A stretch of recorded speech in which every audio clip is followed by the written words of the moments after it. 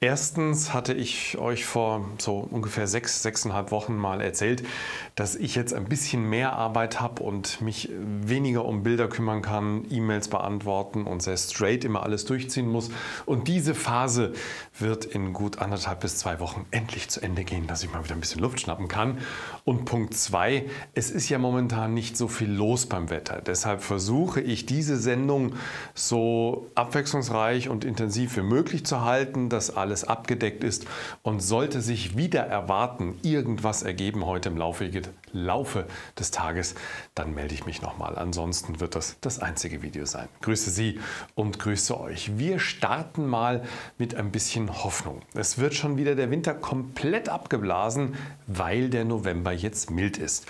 Und jetzt habe ich mal drei Beispiele rausgesucht. Wenn wir einen sehr milden November hatten, folgte danach ein kalter bis sehr kalter Winter. Hier zum Beispiel ein extrem milder November, der frühere Rekordhalter aus dem Jahre 2009, der ging jetzt um diese Zeit dann nach oben und taumelte ganz, ganz, ganz weit oben rum, ging dann runter und es folgte zumindest in der Nordosthälfte Deutschlands ein sehr strenger Winter, wo auch die Ostsee zugefroren war. Der Winter davor 1986, 87 brachte ebenfalls einen sehr milden November für damalige Verhältnisse mit einem Plus von fast 2 Grad. Und wenn wir noch weiter zurückgehen, noch viel, viel weiter, 1928, das war ebenfalls ein sehr milder November, der grundsätzlich fast immer über der Durchschnittslinie war und rund 2 Grad zu warm und das vor fast 100 Jahren. Und es war der strengste Winter dieser ersten Jahrzehnte des vergangenen Jahrhunderts. Und umgekehrt ist ja die Hoffnung immer da, wenn der November schon Winterwetter und Kälte bringt, dann wird der Winter toll. Da gibt es ein paar Gegenbeispiele. Zum Beispiel der November 2007. Der war gar nicht mal so schlecht. Der war sogar kalt und brachte Schneefälle schon relativ früh. Fritt im November zeitig das Wasser, wird es im Januar umso nasser. Danach folgte ein super milder Hochwinter. Der November 1993, der grätschte sowas von ab und hatte ein Tagesmittel hier von minus 6 Grad knapp. Das war ganz schön kalt und zwei Wochen Winterwetter. Anfang Dezember kippte es auf West und es wurde ein milder Winter, der erst im Februar ein bisschen kippte und dann übrigens der Steigbügelhalter war für den Supersommer 1994. Und dann haben wir noch den November 1989. Auch der war relativ kalt, brachte auch schon Frühwinterwetter und danach folgte ein super milder Winter mit dem damaligen Rekordhalter des sehr milden Februars. Kommen wir jetzt zum November aktuell, der nach dem amerikanischen GFS so verlaufen soll in den nächsten rund zwei Wochen und dann bei einem Plus rauskäme, dass alle November bisher übersteigen würde mit einem neuen Rekord. Was nicht mit eingerechnet ist, ist die Inversion und was nicht mit eingerechnet ist, ist das europäische ECMWF-Modell, das deutlich kälter wäre für die nächste Woche. Dazu am Schluss der Sendung mehr. Apropos kalt, das waren die Tiefstwerte der Nacht von gestern. Minus 0 Grad, 0,3 Grad waren es in Mittenwald und minus 0,1 Grad in Reit im Winkel. Die höchsten Werte hatten wir in Münster und in Helgoland.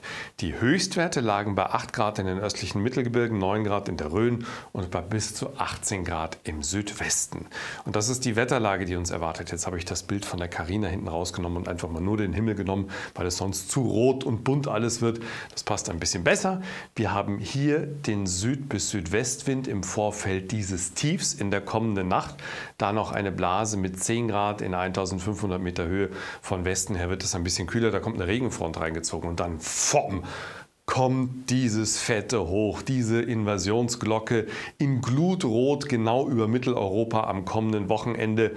Es geht aber relativ wenig Wind und die Temperaturen liegen in 1500 Meter Höhe bei um die 10 Grad. Übrigens, die wärmste Gegend haben wir in Europa dann in Deutschland und in Südskandinavien. Da kann selbst Spanien fast nicht mithalten. Das ist aber nur in der Höhe und wenn es nicht durchmischt wird durch Wind nach unten, dann bleibt das auch nur in der Höhe und unten sammelt sich kalte Luft. Da gehen wir gleich konservativ drüber. Und dann, so soll es sein, in der nächsten Woche am Dienstag weicht dieses Hoch langsam nach Osten. Von Westen kommt so ein Tiefknick reingezogen mit etwas kühlerer Luft über Westeuropa. Bei uns hätten wir aber immer noch die Wärme. Und das europäische ECMWF-Modell berechnet übrigens dieses kältere System ein bisschen weiter im Westen. Kommen wir zum heutigen Tag, wo wir mit einigen Nebelfeldern, vor allen Dingen im Südosten starten. Die verschwinden dann. Sonst haben wir Sonnenschein und mal lockere, mal kompakte kompakte hohe Wolkenfelder. Mal gibt es nur so einen schwachen Haloring mit so Nebensonnen und dann verschwindet die Sonne wieder milchig matt. Dichter, deutlich dichter sind die Wolken im äußersten Nordwesten und im Süden der Schweiz. Der Wind kommt aus südlichen Richtungen daher, ist spürbar und in den Bergen gibt es leichten Föhn. Bei Temperaturen von 12 bis 18 mit lokalen Föhneffekten von der Alp, vom Schwarzwald aus den Alpen heraus und allgemein aus den Mittelgebirgen bis zu 20 Grad. Auf der anderen Seite, das ist die Lehseite und die Lufseite, wo es gegendrückt aus dem böhmischen Becken, da sind es dann bis zu 10 Grad im Erzgebirge. In der kommenden Nacht grätscht von Südwesten ein Regengebiet rein. Das geht ziemlich fix dann in den Abendstunden und zieht sich in die Nacht. Da regnet es auch mal stärker. Morgen Vormittag hängt dieses Regengebiet immer noch an der Stelle, wird so ein bisschen gequetscht und zurückgebeult. Tagsüber so ein bisschen dann nach Südosten geführt, löst sich dann erst einmal auf. Rund um die Nordsee gibt es noch ein paar Schauer im äußersten Osten, sonst setzt sich die Sonne durch. Am meisten Sonnenschein gibt es etwa vom Tiroler Unterland bis in den Wienerwald. Drumherum so Hochnebelfelder, die sich um die Berge schmiegen. Der Wind kommt verbreitet aus südwestlichen Richtungen, ist sehr ruppig. Im Südosten ist der Wind ruhig. Die Temperaturen liegen im Nebel maximal bei 8 und auch im Regen bei 8, sonst bei 11 bis 17 Grad. Dann haben wir den Donnerstag. In der Nacht auf Donnerstag zieht das Regengebiet durch, liegt dann am Donnerstag mit letzten Schauern im Südosten Bayerns und auch von den Tauern bis zu den Karawanken fällt noch Regen. Sonst scheint häufiger die Sonne. An der See sind dichtere Wolken unterwegs. Dazu ist es sehr windig und die Höchstwerte erreichen 9 bis 16 Grad, also 1 Grad mehr, als wir die letzten Tage noch darüber berichtet haben. Am Freitag dann zieht so eine Sichel an hohen Wolkenfeldern nach Osten. Das Hoch baut sich langsam auf. In den Niederungen im Südosten bilden sich schon erste Dunst Dunst- und Nebelfelder, die mal längere Zeit halten können. Hier dreht der Wind ganz, ganz schwach auf östliche Richtungen. Im Norden ist der Wind noch spürbar aus Südwest. Bei 8 Grad maximal in den Dunstgebieten, sonst sind es 12 bis 18 Grad. Am Samstag haben wir in weiten Teilen Bayerns, teils in Baden-Württemberg, Schweizer Mittelland, in Oberösterreich, teils Salzburg, Niederösterreich bis Wien und rund um das böhmische Becken immer mehr Nebel, sonst weiter viel Sonnenschein, wenig Wind noch in den Niederlanden und rund um die Nordsee, bei Höchstwerten von 10 bis 15, im Nebel kaum 5 Grad und am Nordrand der Eifel, des Hohen Fens, Westerwald, Wiengebirge, Weserbergland sind bis zu 17 Grad drin. Am Sonntag dann immer mehr Nebel und Hochnebel, wenig Wind im Südosten, wird es wahrscheinlich alles zukleistern, mehr und mehr Ab den Mittelgebirgen nord- und nordwestwärts ist es sonnig mit wenig Wind und Höchstwerten im Nebel von nur noch ein paar Grad plus, sonst mit Sonnenschein 8 bis 14, mit lokalen Föhneffekten und in den Bergen bis zu 19 Grad. Und wenn wir das jetzt alles über einen Kamm scheren, was das amerikanische Modell für die nächste Woche macht, von Montag bis Mittwoch, dann haben wir im Südosten weiterhin den Nebel. Auch von Polen ziehen immer so Hochnebelfelder rein. Im Westen kommen Wolkenfelder herangezogen durch das sich nähernde Tief in den Alpen ist es sonnig, 0 Grad im Nebel, 15 Grad im Sonnenschein. Das europäische ECMWF-Modell, auch übrigens alles konservativ. Die Temperaturen können auch weiter unten liegen eher eine östliche Strömung. Da haben wir den Nebel grundsätzlich dann mehr so im Dreieck von den Alpen über die Alp bis in die westlichen Mittelgebirge rein. Auf der anderen Seite scheint die Sonne. Auch sonst ziehen von Polen, Tschechien und Oberösterreich immer wieder Hochnebelbatzen durch. Im Westen eher sonnig. Höchstwerte minus 3 bis plus 12 Grad. Auch konservativ gerechnet. Warum? Schauen wir auf die Wetterlage für kommende Woche Mittwoch, der Hauptlauf des europäischen ECMWF-Modells. Hier haben wir Deutschland, die Hochdruck Hochdruckglocke am Boden, die Hochdruckglocke in der Höhe. Und hier kommt so eine Wulst herangezogen mit einem Höhentief und Temperaturen in 1500 Meter Höhe, wo die minus 5er Isotherme dann den Osten Mitteleuropas erreicht. Und wir müssen uns das so vorstellen, dass es in 1500 Meter Höhe und so treppchenweise jeweils runter zieht es die Kälte dann weiter zu uns.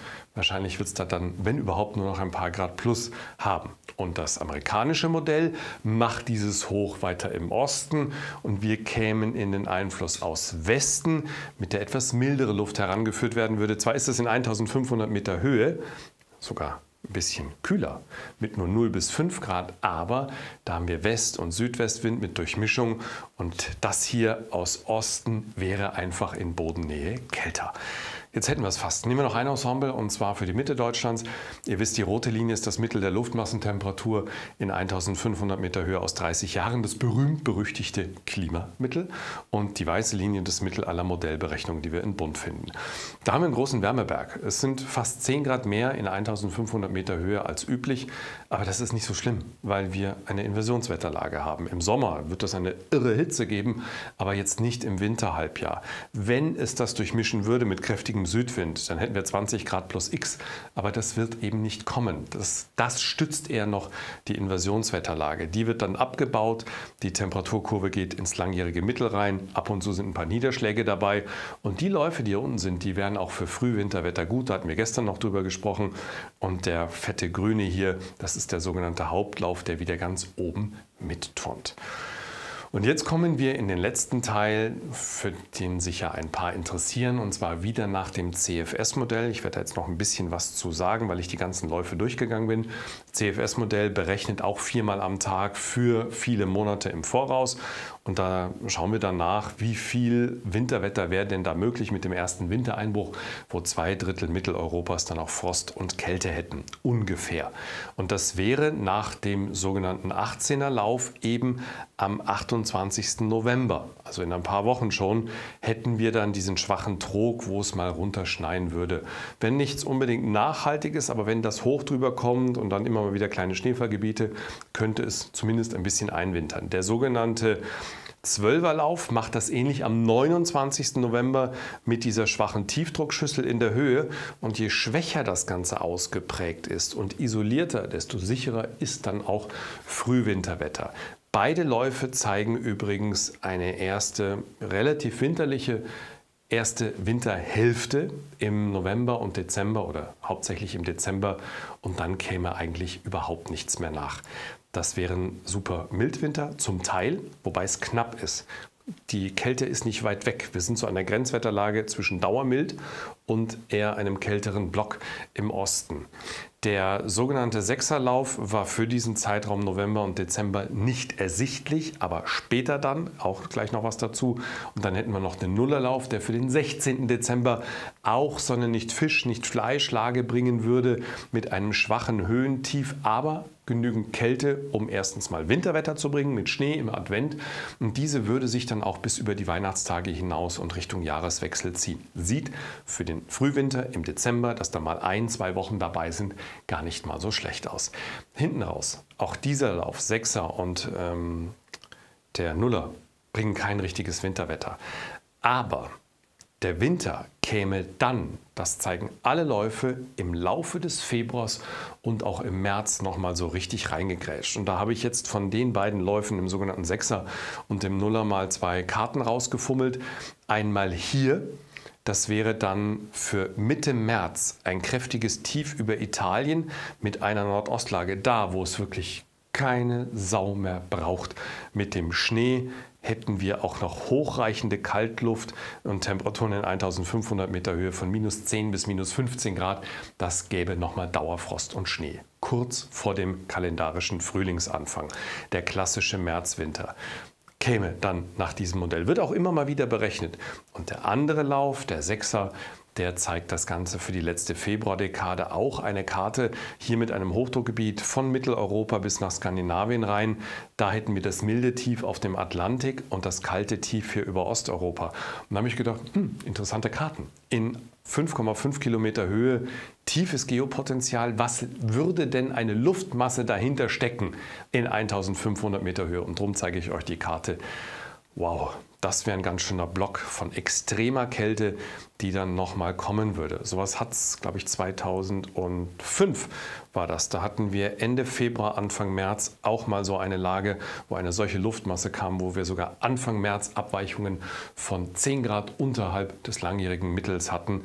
Das ist dann nochmal reingegrätscht. Ist dann meistens so, dass wir relativ milde Kernwinter haben und hinten raus kommt es dann nochmal. Soweit das bisschen Spekulation. Schönen Dienstag.